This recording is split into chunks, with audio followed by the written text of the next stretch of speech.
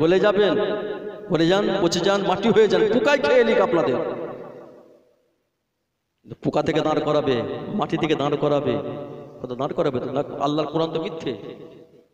মিথ্যে হবে আল্লাহর কোরআন। জি। আল্লাহ পাক কোরআন পাকের মধ্যে বললেন, বিসমিল্লাহির রহমানির রহিম। মিনহা খালাকনাকুম ওয়া ফিহা নুইতুকুম, ওয়া মিনহা নুখরিজুকুম তারাতান আমি আল্লাহ তোদের ঘরে মাটি থেকে পয়দা করেছে, মাটি থেকে সৃষ্টি করেছে। আমি আল্লাহ পাক তোদের ঘরে মাটির মধ্যে নিয়ে যাব। আবার আমি আল্লাহ তোদের ঘরে মাটি থেকে একদিন জেন্দা করে দাঁড় করাবো। এবার আপনারা বলতে পারবেন, ভাইজান, আমার আল্লাহর কথা কি মিথ্যে হবে? কথা বলেন এখানে। তা খোদার কাছে উঠতে হবে। ওই দিনটা কবে হবে? ওই দিনটা হবে কিয়ামতের ময়দান মাহাসরের মাঠ। খোদা দাঁড় করাবে ওই দিনে, কঠিন দিন হবে ওটা। ওখানে পাশ করবেন, সব পাস সব পাস খোদা দাঁড় করবেন ওই দিনে। কেমত হবে কি হবে না? হবে। কবে হবে? বলতে পারবেন? আমার আল্লাহ বা কি ভালো জানেন? সেটা কবে হবে? কি কথা ঠিক না? তবে এক একটা মালায়কা ফেরিস্তাদের ঘরে আমার আল্লাহ পাক এক একটা দায়িত্ব দিয়েছেন। হজরত আজরাইলকে দায়িত্ব কি দিয়েছেন? রু কবজ করার। হ্যাঁ গো, তাই তো। আজরাইল দায়িত্ব দেয়নি? যা রু কবজ কর সেরে তুই শুধু কবজ করে কি আমার সর্বশেষে আজরাইল নিজের নিজে কবজ করছে কথা ঠিক না বল এইরকম হজরত ইসরাফিল আলাইসালামের হাতে আল্লাহ পাক একটা দায়িত্ব দিয়েছেন গো। হজরত ইসরাফিল আলাইসালামের হাতে আল্লাহ পাক সিঙ্গা লাগিয়ে দিয়েছেন। না সিঙ্গা দেয়নি। দিয়েছে দেয়নি? সিঙ্গা মাসে কিনি। সিঙ্গা মানে কি? বাঁশি। দিয়ে রেখেছেন কেন? একদিন আল্লাহ পাক বলবেন, "এ আমার মালায়কা ফেরেস্তা আমি আল্লাহ পাক হুকুম করলাম, যা সিঙ্গার মধ্যে ফোকটা লাগা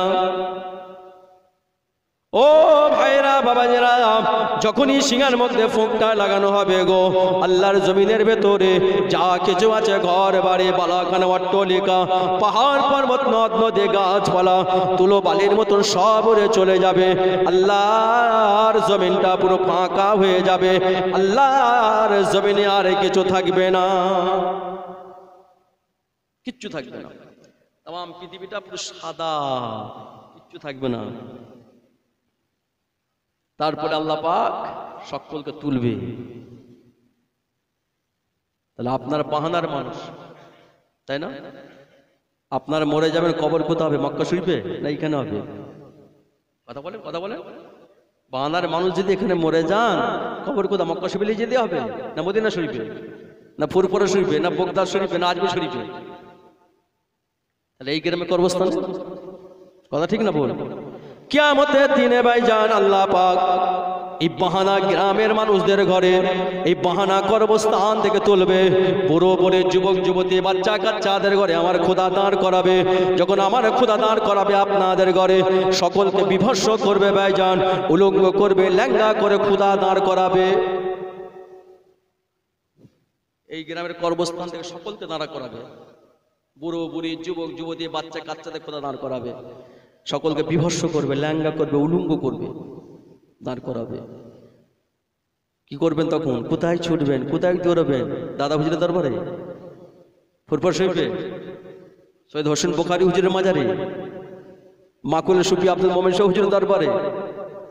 কথা বলেন? ও ভাইরা বাবাজিরা, শুনে রেখে দিন। আল্লাহ পাক যখন আপনাদের দাঁড় করাবে, তামাম পৃথিবীর মানুষদের ঘরে খোদা যখন দাঁড় করাবে, সমস্ত পৃথিবীর মানুষদের ঘরে ভাই যান, দৌড়ে দৌড়ে দৌড়ে দৌড়ে দৌড়ে দৌড়ে মক্কা জমিন মদিনা জমিনে যেতে হবে। কেন মক্কা জমিনে আপনাকে যেতে হবে? মক্কা জমিনে একটা জায়গা আছে। যে জায়গাটার নাম হচ্ছে আরাফাতের ময়দান। ওই আরাফাতের ময়দানটা আপনার আমার জন্য কিয়ামতের ময়দান হবে গো। ওই আরাফাতের ময়দানে একটা পাহাড় আছে ভাই যারো যে পাহাড়টার নাম হচ্ছে জাবলে রহমত পাহাড় ওই পাহাড়ে আমার আল্লাহ পাক বসে তাম বান্দা বান্দেদার হিসাব নিকাশ করবেন সকলকে যেতে হবে। বুড়ো, বুড়ি, যুবক, যুবতী, বাচ্চা, কাচ্চা তাম পৃথিবীর মানুষকে পৌঁছতে হবে। আরাফাতের ময়দান, ওটা কিয়ামতের ময়দান। আরাফাতের ময়দানটা এত বিশাল ময়দান। তাম পৃথিবীর মানুষ গিয়ে যখন আরাফাতের ময়দানে পৌঁছাবে না দেখে মনে হবে কি জানেন? একটা সাইটে পড়ে আছে। এখানে কেউ হাইসেব আছে?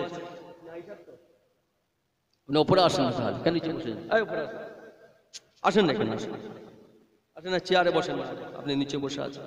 হাই সাহেবকে জিজ্ঞাসা করে আরাফাতের ময়দানটা কত বিশাল? এখানে চেয়ারটা তুলে দেন লাল আরাফাতের ময়দানটা বিশাল ময়দান।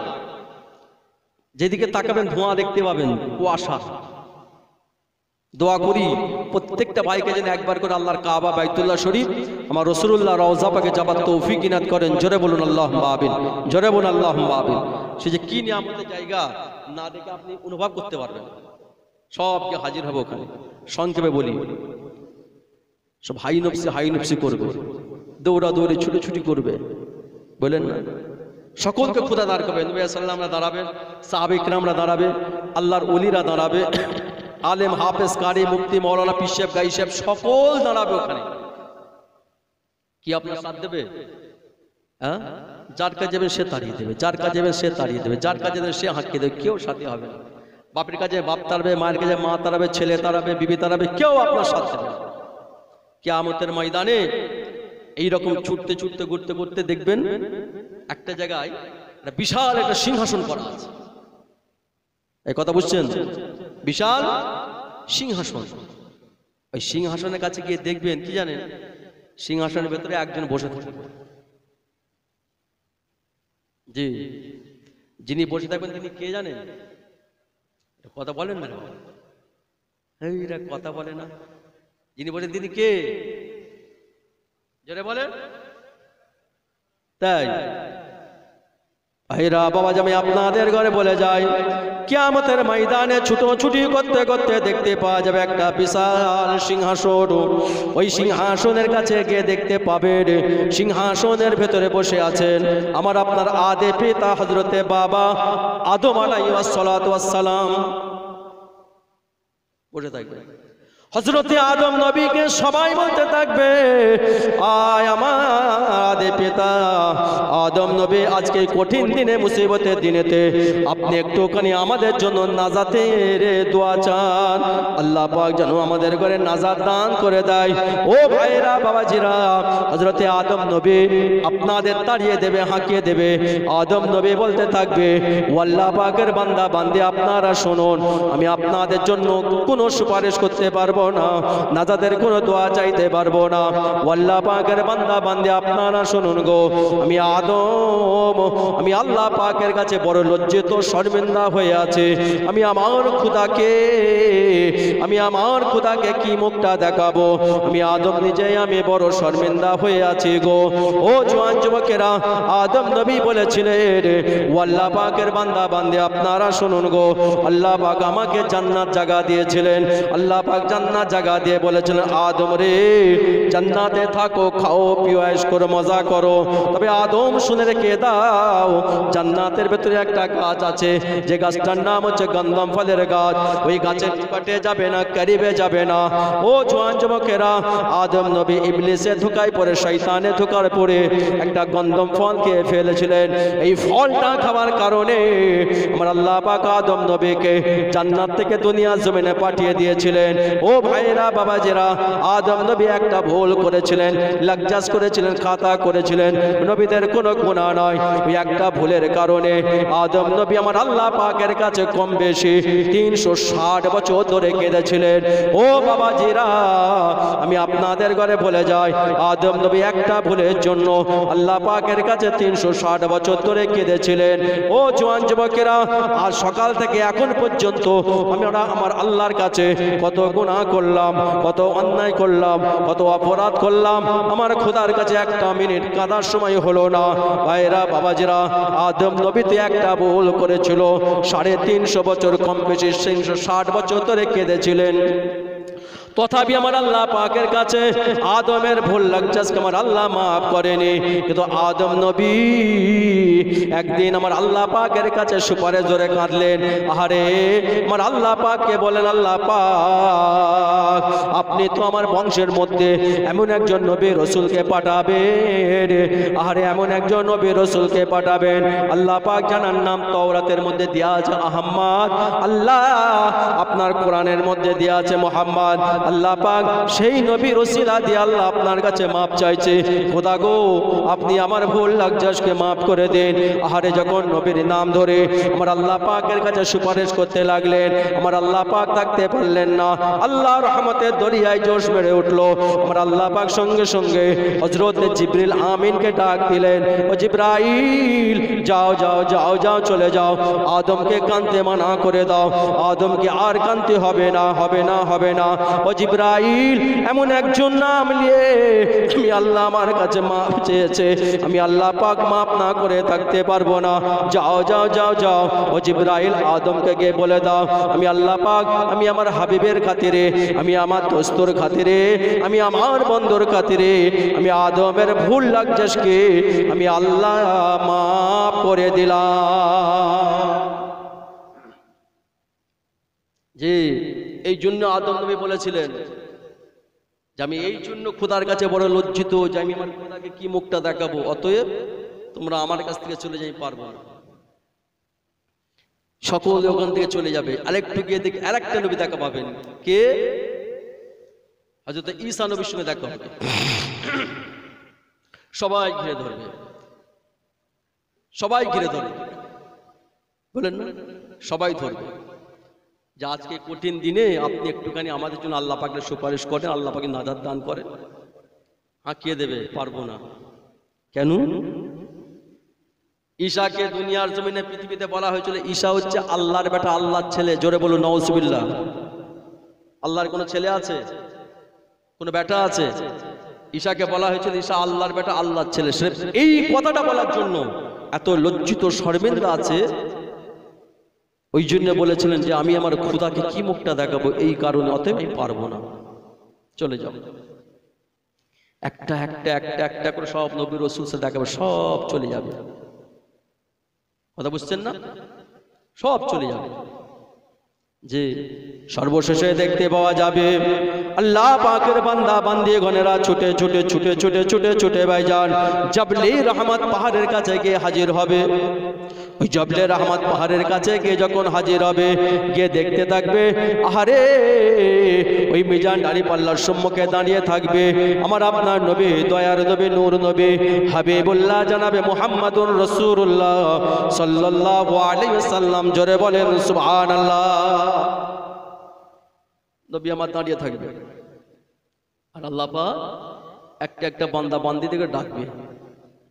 মিজান দাড়ি পাল্লায় ওজন করা হবে। মিজান দাড়ি পাল্লা দেখেছেন কোনো দিন কথা বলেনি কেন? দেখেছেন? দেখেন কম্পিউটার দাঁড়ি পাল্লা না কিয়ামতের ময়দান আল্লাহ পাক যে দাঁড়ি পাল্লা জেনে বসবে না, ওই দাঁড়ি পাল্লাটা পৃথিবীতেই আছে। আল্লাহ পাক নিয়ে বসবে। নাম শুনেছেন ঘোরেননি, নাম শুনেছেন দেখেননি। যারা হাই সাহেব আছে, তারা মক্কা শিবে গেছেন, তার উপরে হেঁটেছে, চলেছে, নামাজ পড়েছে, ইবাদত করেছে, সব করেছে। খুদা পা আমার আল্লাহ যে দাঁড়ি পাল্লাটা নিয়ে বসবে, ওই দাঁড়ি পাল্লাটা হচ্ছে মক্কা শরীফের জমিনে আছে। হাজি সাহেবরা তপ করে। বলেন না? তপ করে। জি। তপ করে নিয়ে কাবা সাতটা তপ করে করে নিয়ে ওখান থেকে যেতে হবে। মাকাম ইব্রাহিমের মধ্যিখান, কাবা দরজার পিছন দিকে একটা দরজা আছে। একটুখানি যে যাবে সাফা মারা পাহাড়ে যেতে হবে। ওখানে সাতবার আনা জানা করতে হয়। সাফার ইমাতা থেকে শুরু করবেন, উমাতে শেষ করবেন। মারবার উমাতা থেকে শেষ করে, শুরু করবেন ইমাতে শেষ করবেন। কম বেশি এক কিলোমিটার করে লম্বা। দুটো পাহাড়। সাফা মারোয়া। এই সাফা মারোয়া পাহাড়টা কিয়ামতের ময়দানে আল্লাহ পাক মিজান দাঁড়িপাল্লা করেছেন, ওটা মিজান দাঁড়িপাল্লা হবে। এক একটা পাল্লা এক কিলোমিটার করে লম্বা হবে। এমনি করেছে খুদা চল্লিশ বছর, পঞ্চাশ বছর, সত্তর বছর, একশো বছর হায়াত দিয়েছ, কি করছ? দুটো ফেরেস্তা দুটো কাঁধে বসে আছে, লিকেই চলেছে লিকেই চলেছে লিকেই চলেছে, কলম বন্ধ হবে না। ব্যাগ ওজন করবে, তুলবে। এক কুইন্টাল, দু কুইন্টাল, কুড়ি কেজি, পঁচিশ কেজির কোনো গল্প নেই। যে আর ওই মিজান দাড়ি পাল্লার সম্মুখে আমার নবী দাঁড়িয়ে থাকবে। বুঝলেন না? তোলা হবে। একটা বান্দাবান্দি ডেকে একদিকে নেকড়ি পাল্লা গুনার পাল্লা। তোলা হলো। কি আমাদের মধ্যে নেকির পাল্লা যদি হালকা হয়, গুনার পাল্লা ভারী হয়, কোন দিকে যাবে কথা বলেন। না। নেকির পাল্লা হালকা, গুনার পাল্লা ভারী, কোন দিকে যাবে এর কথা বলেনি। নেকির পাল্লা হালকা, গুনার পাল্লা ভারী, কোন দিকে যাবেন? জান্নাতে না জাহান্নামে? বাহ। ভালো জ্ঞান আছে তাহলে আপনাদের মাশাআল্লাহ। সব বুঝি আমরা। তাহলে জাহান্নামে যেতে হবে তাই না? যে জাহান্নাম